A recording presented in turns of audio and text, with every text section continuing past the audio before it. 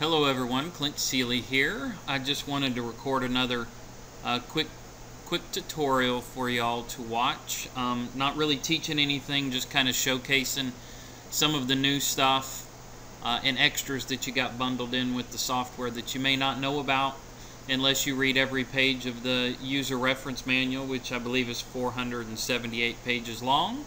Um, some of these tips are included in that, but I just wanted to show you visually on screen via the recording uh, some cool new things. As I discover them, I just thought I would pass it along, share it with, with you, that experience. So one thing I noticed is CorelDRAW Essentials X6 has a lot of really good clip art uh, in, bundled in with it that's already in the CorelDRAW vector format a lot of that stuff that is free for you to use. You just may not know where it is, and you may want to have it and play with it and just kind of have it at your disposal. So I'm going to show you my process on that and how I discovered the clip art and organized it to where it's easy for me to access it directly from the program. That's what I believe in is just making everything easy. So the first thing that we're going to do is go find that clip art folder. I'm going to I'm going to copy it and I'm going to put it in a place in a folder in an area that I access quite often.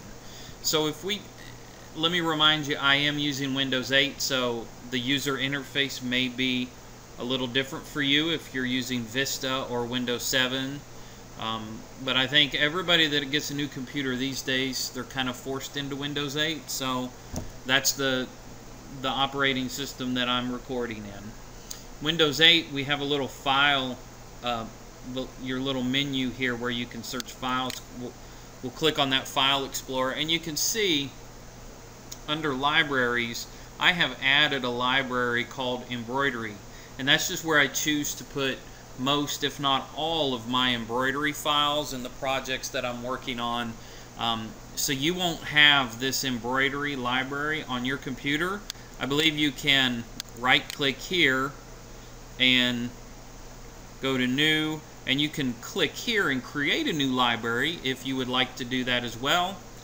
It makes it really streamlines things and makes it easy. You can click and then type in and you know embroidery or whatever you choose to call it. You could create your own library for strictly for Bernina you know name it whatever you want. I named mine embroidery. So you'll see you'll see that here but I'm not going to search uh, the embroidery library right this minute, I want to go out and find the clip art that is bundled with Corel. So I'm just going to go to the C drive, and then I'm going to go to the search window up here, and I'm going to type in clip art, because that's the name of the folder. And the computer will do a search. It may take you a minute. Um, some computers are faster than others, so be patient.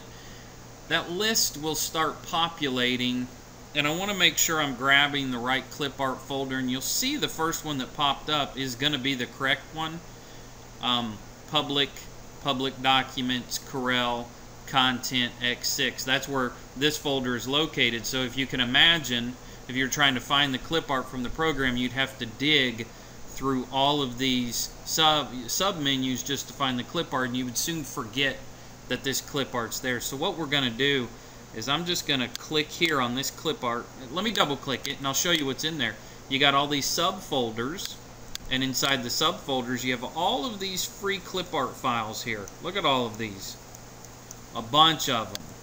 So I'll go back and I'm going to go back. Oh, I may have went back too far. Sorry. Oh, no, I'm fine. Okay, here I'm going to click on the clip art folder and it's the one that says, you know, that looks like this. Content X6 should be in there. I'm going to right click and then I'm going to hit copy.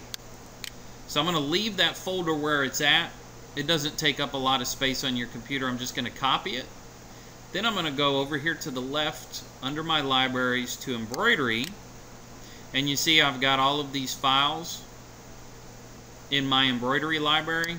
I'm then just going to right click and hit paste. And that clip art folder should paste. Now I'm just for uh, just to make things even easier than that, I'm going to rename this folder. And I'm going to name it, let's see, Corel uh, clip art, or vector. clip art. That makes it even more recognizable and easier to find. And if we double click, you'll find that we've got all of the all of these subfolders that's just full of all kinds of clip art. Now, I'm going to show you how to use that. Now that we know where it's at and it's going to be easy to find. Let me just close this menu and let's bring up the Corel Draw or bring up the Designer Plus, start a new document, and then I'm going to switch over to the art canvas. Now there's a couple ways to do it here. You can hit the import, control I, even go over here to where it says load artwork, same thing, it's, it's an import function. So let's hit import. Then we're going to go and click on our embroidery library, and there we see right, right where we left it, Corel Vector Clip Art. Let me double click on that. And what kind of artwork are we looking for? Let's go to special occasions. Now, here we have a bunch of files that are named completely random things, so you have no indication whatsoever of what you're looking at. Even when you click it, there's no indications. Like, hey, Clint, I have no idea what I'm clicking on here. Hey, no problem. If your if, if your import folder looks like this, just go over here and we're going to do, let's say, large icons. And now you can see what the clip art looks like because the art itself does not have a unique name that's an indication of what you're looking at. So now we can just scroll through and visually browse through this free clip art that's going to be very usable and very easy to digitize for embroidery. Let me get, boy, these look really fancy and cool, but let me, Halloween's coming up. Oops, hold on. Somebody was calling me, sorry. Halloween is coming up. I think I saw a pumpkin. So I would just click on this pumpkin, import, hit the enter button on your keyboard, and there's a pumpkin. Now this is already vector art. Okay, this is very clean vector art. What size do we have here? 2 by 2 Let's make this something just a little bit bigger. I'll just rescale to maybe 3.5 inches. Whatever you want. It's already vectorized, so all I do is hit the convert button. And let's see what the program does automatically. Boom, there you go. Look at that. Look how nice that looks just right off the bat. It's beautiful. Now you can go in and edit it, change the fabric settings, all that kind of stuff. It's super easy. Oh, let me show you something else that I found uh, that I really think is cool. When you when you insert a design or you, you, you auto digitize uh, a vector art and we switch back over to the embroidery canvas, here's a new tool that I found which will cycle through the colors. If you don't have colors you like, or you're just going to want to cycle through and see some new uh, color options, just click that button. Just keep clicking it, and it's going to go through. It's just going to keep changing the color pattern of the pumpkin. And then obviously you'll get back to where you started. But it really, um, just at the click of one button using this cycle used colors, you can see different different patterns. And of course, you all know how to use the color wheel already. There's a a little bit of an improved design on the color wheel. I won't spend any time with that right now, but it's there as well.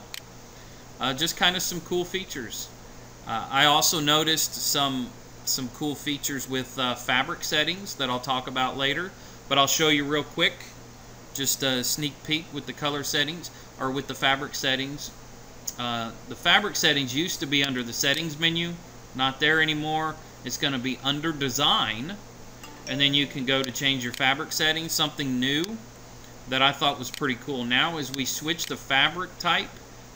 Okay, if we're going to put this pumpkin on uh, terry cloth, say a medium weight terry cloth, we would select that. It also tells you the required stabilizers that you're going to want to use when embroidering this pumpkin on medium weight terry cloth. Looky here, topping, wash away, backing, poly mesh, or cutaway two layers. That's kind of that's kind of really cool that that it shows that right on the uh, dialog box for fabric settings. There's all kinds of new improvements. Uh, just just little Easter eggs hidden all over this program, and I can't wait to discover them all. Anyway, thanks for watching, and we'll see you next time.